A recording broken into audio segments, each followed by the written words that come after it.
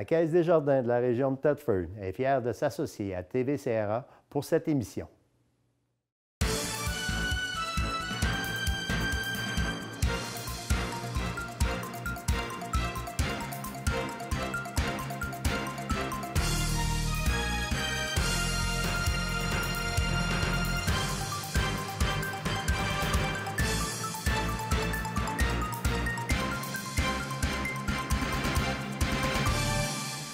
Mesdames, Messieurs, bonsoir. Ce soir, au Château, j'ai deux invités. Et mon premier euh, invité est un récipiendaire d'un prix Zénith lors du, dernier gala qui s'est déroulé au mois de mai 2013 euh, dans le domaine du service au détail. Et j'ai le plaisir d'avoir avec moi un Tedfordois, euh, quelqu'un que vous allez reconnaître quand vous allez le voir c'est le propriétaire, le président euh, hall de l'alimentation sur la rue Saint-Alphonse, M. Michel Leroy. Michel, bonsoir. Salut Pierre. Et félicitations pour le, prix Zénith euh, du mois de mai. Merci. Euh, c'est mérité. Alors, la première question que je, te pose, Michel, c'est que pourquoi c'est fait, tu penses que tu as gagné ce, Zénith-là? Bon, ah, on, s'est inscrit cette année, mais je veux dire, de trois ans avant, je, voulais m'inscrire parce que ça fait cinq ans, ça existe, ça? Oui. Après ça, je me disais, non, c'est pas, je suis pas encore prêt pour euh, embarquer dans, une compétition comme ça. Fait que j'ai dit, moi, va attendre. Pour la raison que j'ai attendu cette année parce que c'est mon 25e anniversaire. Ah bon? Qui était fêté au mois d'avril. Et en plus, c'est parce que dans la région ici, on a de la misère à garder nos jeunes. Puis je, me suis préparé une relève. Donc, pour, pour faire le mandat que la ville nous demande, d'essayer de garder nos jeunes, c'est pour ça que j'ai travaillé sur ce côté-là. J'ai dit, moi, m'inscrire au Gala Zénith. Et là, tu as gagné. Mais, bon, pour ceux qui ne le sauraient pas, là, qu'est-ce que les halles de l'alimentation, même on, appelle ça le petit potager très souvent aussi. C'est ça. Alors, c'est quoi le service particulier que vous offrez, vous autres, là? Bon, nous autres, euh, nos entreprises, c'est spécialisé dans les périssables. OK? Les viandes, fruits et légumes, boulangerie et euh, les bains préparés. Le reste, c'est un peu. C'est pas un magasin standard. Il y, a beaucoup de choses qu'on ne garde pas. Nous autres, notre priorité, c'est le périssable. Fait que ça fait 25 ans qu'on a parti ça. Euh, ça n'a pas été facile au début parce qu'ils nous prenaient peut-être pour un dépanneur. Mais euh, à force de persister, moi, j'étais un gars persévérant. Je ne serais pas rendu aujourd'hui, je n'aurais pas été persévérant. À force de persister, bien là, aujourd'hui, notre créneau est fait. Puis les gens nous respectent, puis ils nous viennent voir, puis ils nous encouragent. Alors, juste pour le situer, quand on dit sur la rue Saint-Alphonse, là, il faut bien s'entendre, c'est pas loin du salon funéraire. Exactement. C'est le même côté, un petit peu plus bas. Un petit peu plus bas, oui. Euh, on est dans la semaine du 14 euh, octobre, là, puis quelqu'un qui a passé là, a vu qu'il y avait des travaux qui sont terminés. Hein? Ben, ça, c'était quel euh, énième agrandissement, celui-là? J'en ai eu une déjà en 93. En 93. Quand j'ai acheté en 88, puis j'ai décidé en 93 d'agrandir mon, mon fruit et légumes, mon aire de préparation, en plus de faire des bureaux au sous-sol. Avant ça, c'était tout sur le même plancher. Ça, j'ai fait ça en 93. Après ça, bien, vu que j'avais une relève, là, j'ai dû m'en faire la, deuxième, la deuxième phase, c'est de monter un deuxième étage pour les cuisines maison. Ça, c'est ce qui vient de se faire, là? Oui, c'est ça, qui est pratiquement fini, là. Euh, c'est au deuxième étage. C'est une cuisine. Avant ça, on avait une cuisine de 4 par, 8 euh, par 8 deux, employés dans ça, 8 par 8. Là, on est rendu, on a un deuxième étage, on a un 20 pieds de large par 60 pieds de long. Oh mon Dieu! Fait que là, on est rendu avec quatre employés à plein temps. On, a, trois des fins de semaine.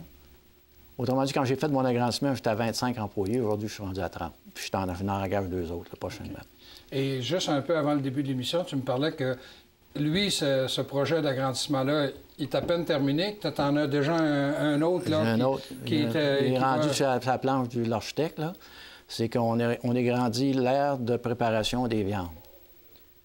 On change, premièrement, il fallait changer, il fallait changer les trois chambres. Ça, c'est une autre phase qui était supposée être faite après les fêtes. Mais on a décidé d'avancer. Les trois chambres froides, au lieu de les laisser les remettre à la même place, on les sort dehors. On fait un agrandissement par l'extérieur qui va donner à peu près 400 pieds de plus carrés pour l'aire de préparation des viandes, qui va nous aider à. on est rendu avec plusieurs personnes dans ça, fait que ça va être plus grand pour travailler, ça va être plus à l'aise, on va faire un beau département.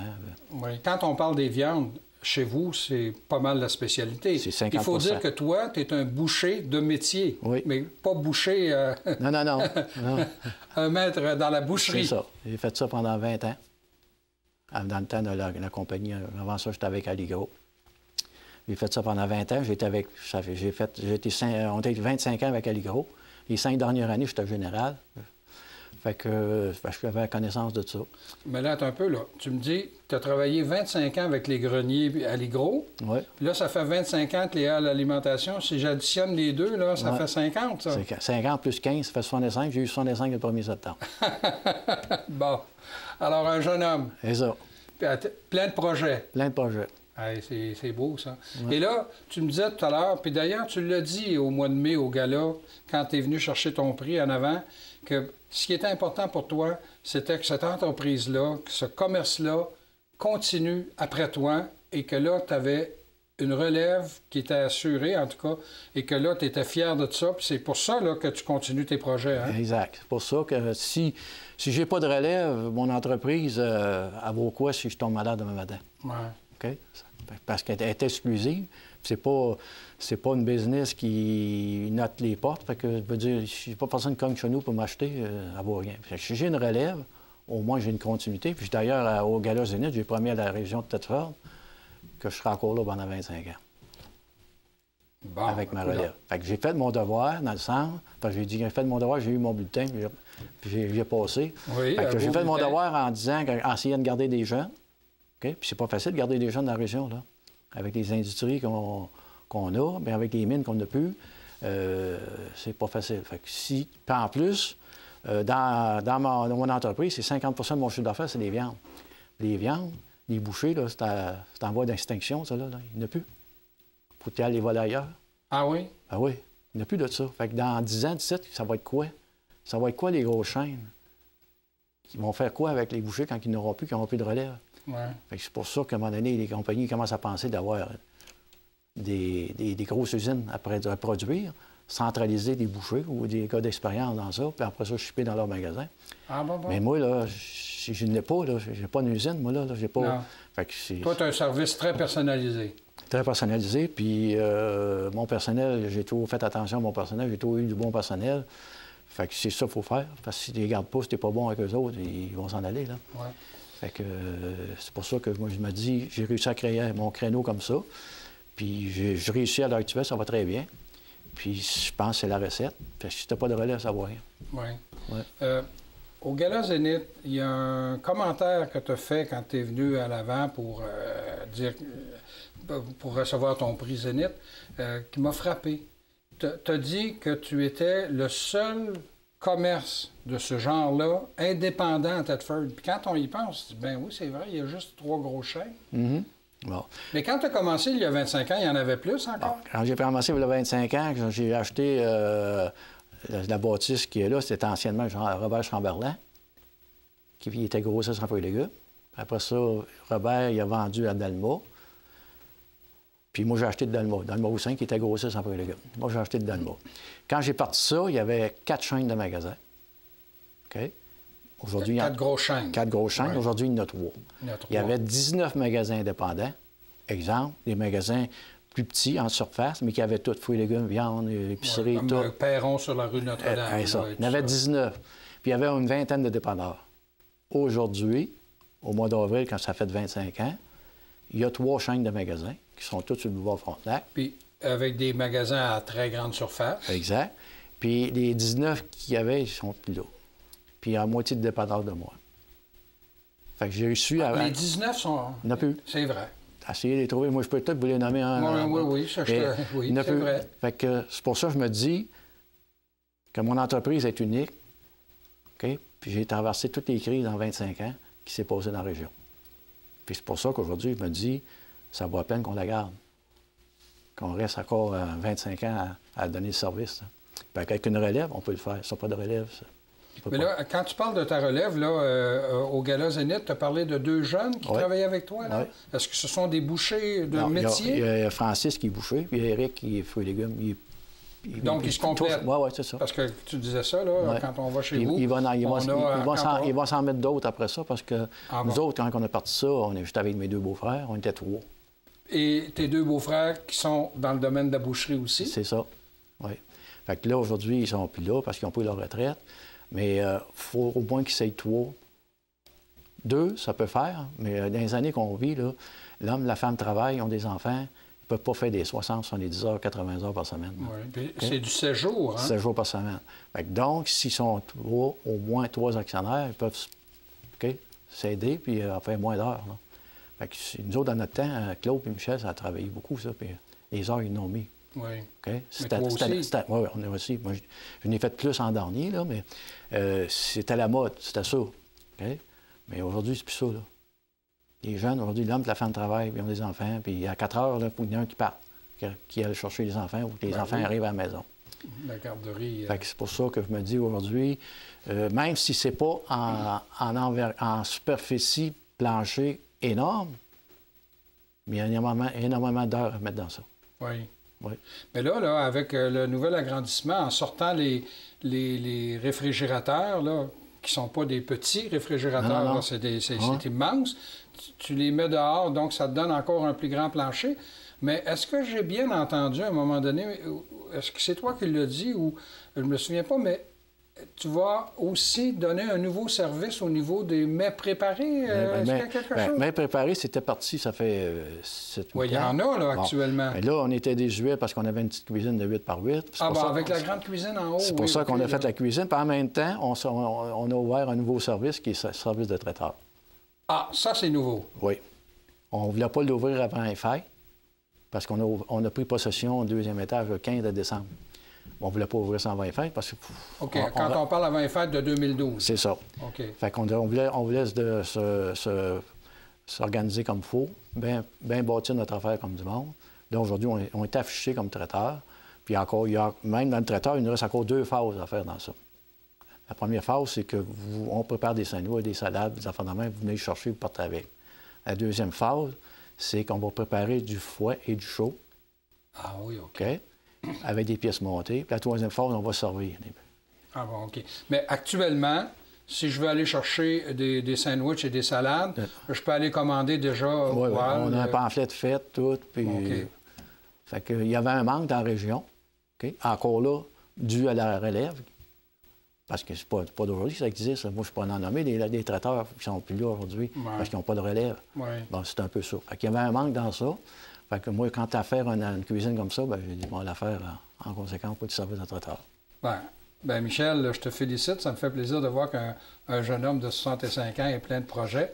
Euh, et euh, si des gens m'entendent te tutoyer, c'est parce qu'on est des amis d'enfance. Exactement. on se connaît depuis, disons, quelques années. Alors, c'est pour ça que je me permets de t'appeler euh, par ton prénom et de te tutoyer, Michel.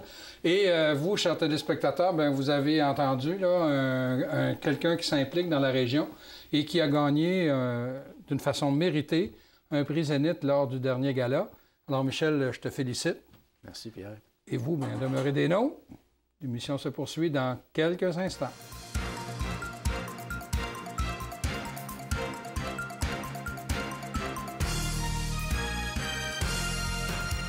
Nous voilà de retour. Euh, j'ai le plaisir d'avoir avec moi le directeur général de Récupération Frontenac. Alors, tout le monde devrait savoir ce que c'est, mais on ne prendra pas de chance. On va le demander à André Junior Saint-Cyr. Bonsoir, André. Bonsoir, Pierre. Donc, pour ceux qui ne sauraient pas là encore, là, Récupération Frontenac, c'est quelle sorte d'entreprise? Donc, tout d'abord, Récupération Frontenac, ça a été fondé en 1982 euh, par un groupe de... Donc, ça fait 31 ans. Ça fait 31 ans, effectivement. On a fêté notre 30e anniversaire l'an passé, où est-ce qu'on a eu une super de belle activité en groupe.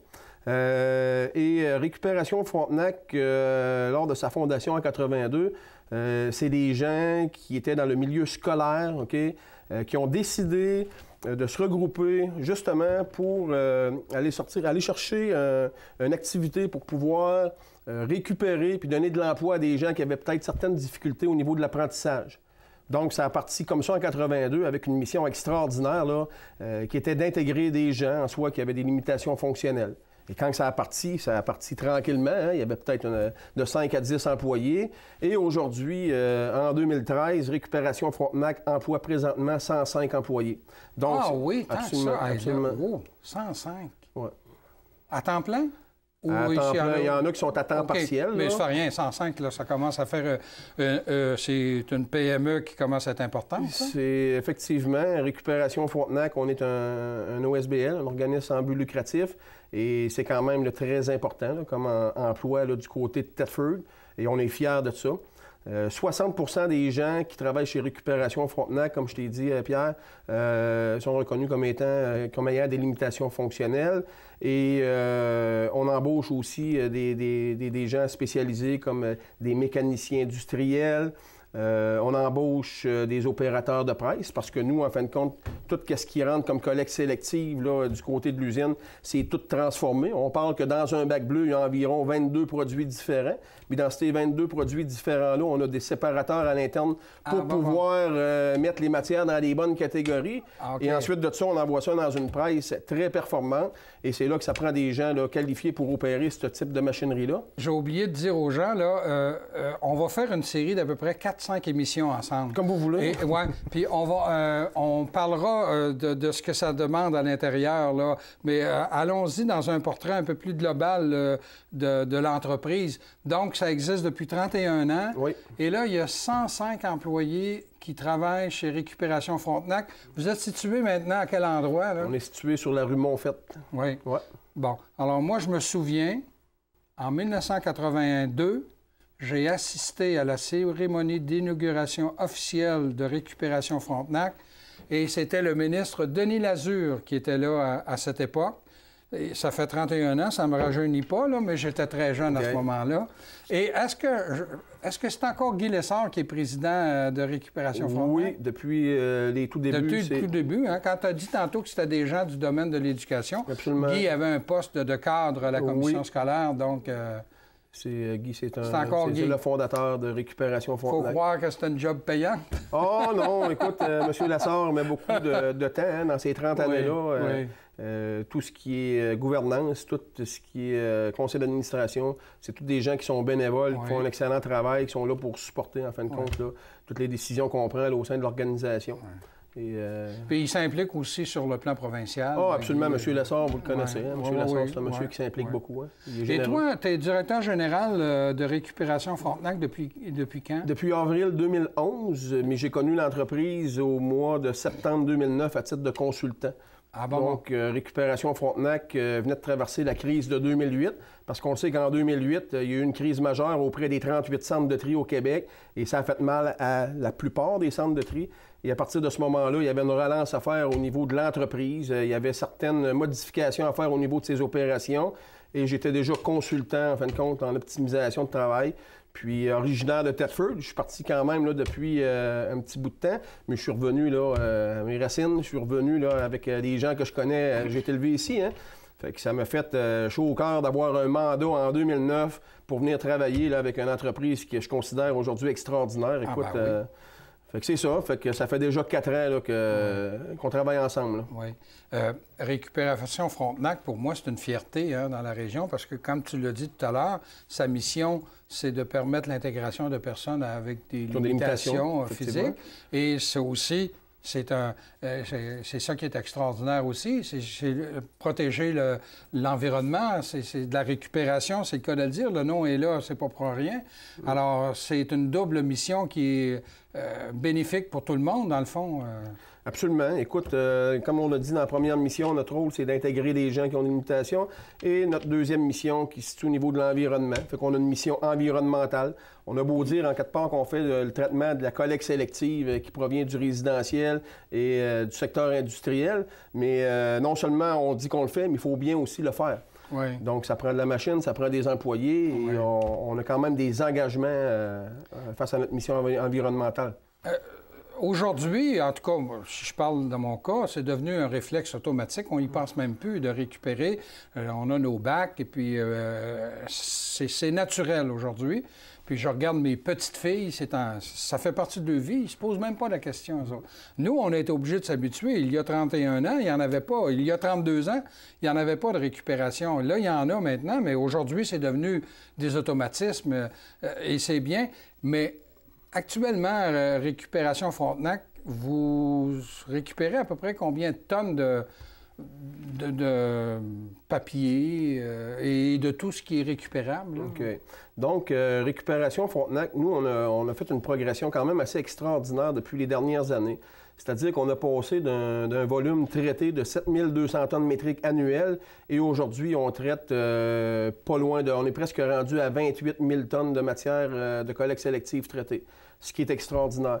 Et sur l'ensemble de toutes les tonnes qui sont traitées, euh, on a un taux de rejet qui se situe environ euh, entre 4 et 5% actuellement. Et c'est quoi ces rejets-là? Bon, écoute, c'est des rejets en soi qui, euh, quand on parle qu'il y a eu de la progression au niveau des citoyens, il y a eu beaucoup d'améliorations au cours des dernières années. Il y a quand même encore des campagnes de sensibilisation qu'on doit mettre en place pour informer le citoyen.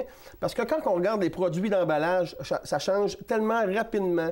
Euh, les codes de plastique qui sont récupérés ou qui sont. Il y a des plastiques qui sont pas codés. Fait que ça devient dur des fois pour le citoyen de s'ajuster à la vitesse que les produits euh, embarquent dans le marché.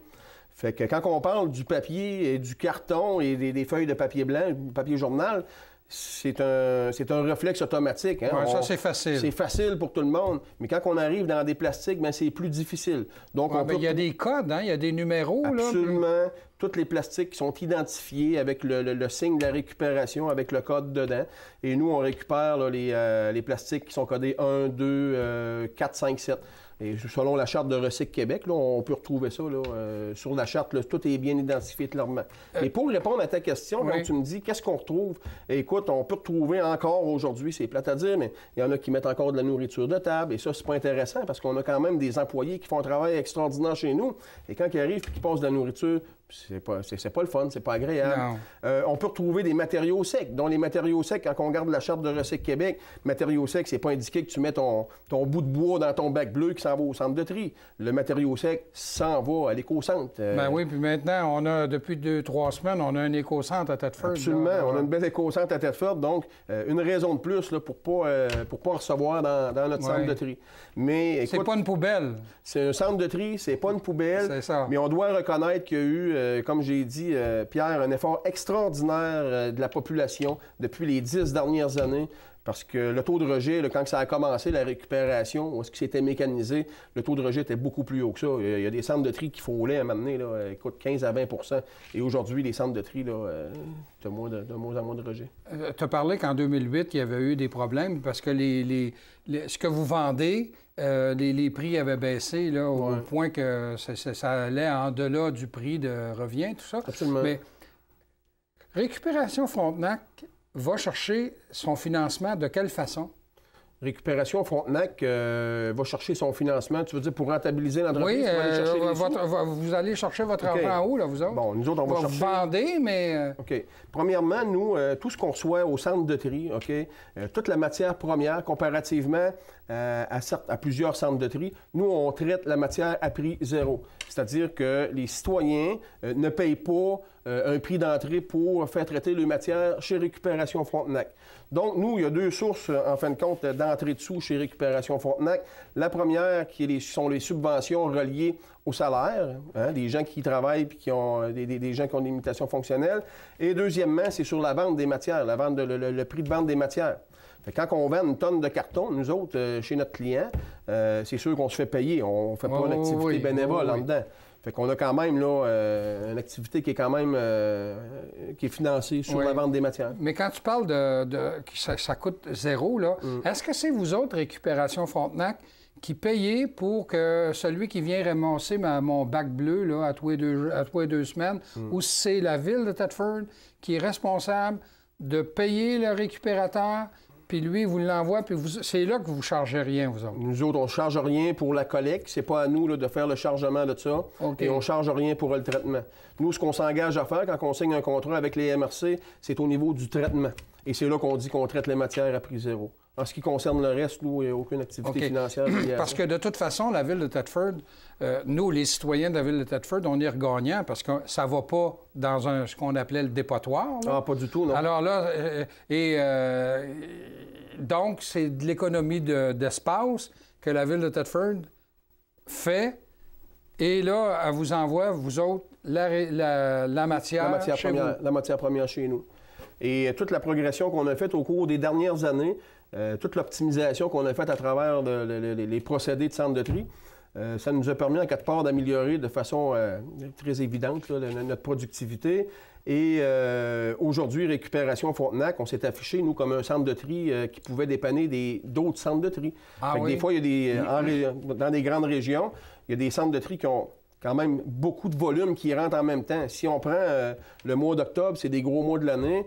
Euh, si on prend le, mois d'avril, qui est un très gros mois aussi, euh, dans ces mois-là, un centre de tri qui a la capacité de recevoir genre, je sais pas, trop 2000 tonnes par semaine et qu'on lui en emmène euh, 3000, mais ces 1000 tonnes-là, nous, en quelque part, ben, il nous appelle, puis est-ce qu'on est capable de le prendre? Fait qu'on a commencé à dépanner les centres de tri, certains, et ça, ça a porté fruit.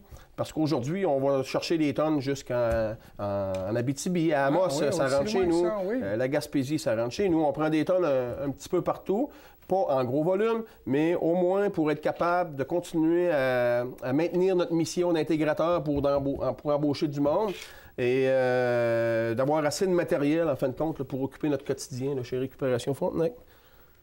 Mais euh, je suis étonné de savoir que vous qu'il y a des il y a même de la matière qui vient de l'Abitibi. Ben oui, Ah, là, c'est pas à porte, ça, là. là. Oui, puis au début, cer- certaines personnes vont critiquer le fait d'arriver et de dire Regarde, vous êtes des récupérateurs, vous êtes là en quatre parts pour euh, diminuer les gaz à effet de serre. On parle d'environnement.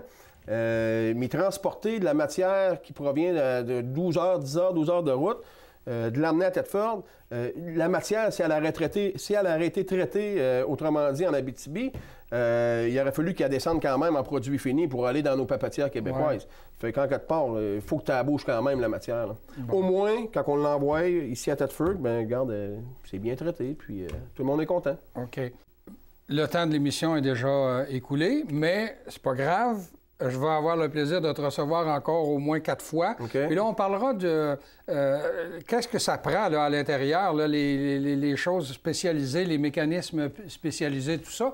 Mais de toute façon, on, on- on va y revenir. Alors, merci beaucoup. Alors, j'avais le plaisir d'avoir à mes côtés André Junior Saint-Cyr, qui est le directeur général de Récupération Frontenac, que vous allez revoir au, au fil de- de mes émissions.